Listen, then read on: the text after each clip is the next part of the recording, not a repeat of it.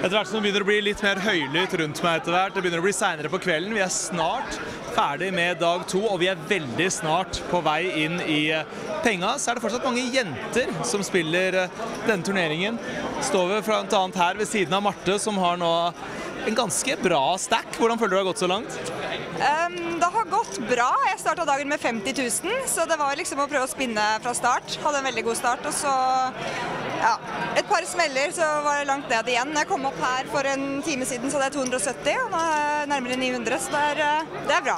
Det er, jeg snakket akkurat om at vi begynner å nærme oss inn i penga. sånn. Dette er et godt tidspunkt å sitte godt over snitt. Det er mye mer komfortabelt å ha over snitt enn å sitte på sånn 20 bigs nå, hvor du kjenner at folk kan sette press og at det ikke er så mye spillerom, da.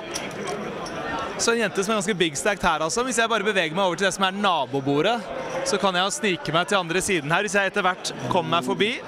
Fordi Kristin, vi snakker om at det er, det er mange jenter igjen og vi er på vei inn i penga nå. Og, er, og vi ser vel dette år for år at jentene de slår bedre fra seg nå og blir stadig flere som virkelig er gode. Absolutt. så Det merket du på Ladies i fjor også. Mye høyere nivå enn før. Gøy. Og Hvordan føler du det har gått så langt i dag? Jeg er egentlig veldig fornøyd med spillet mitt. Jeg har ligget sånn 200 K over eh, average hele dag, og så gikk jeg på en smell da jeg kom opp hit. Så nå er jeg litt ned, men det går bra.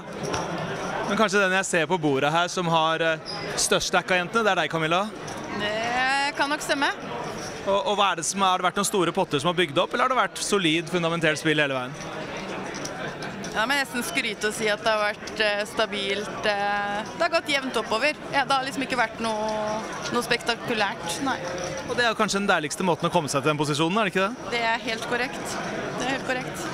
Dette er jo da bare ett av to bord hvor det faktisk sitter to jenter fortsatt. Og det er virkelig ikke bare jenter som spiller, dette er jenter som slår fra seg, og som i aller høyeste grad er blant favorittene til å ta seg ordentlig langt til denne turneringen.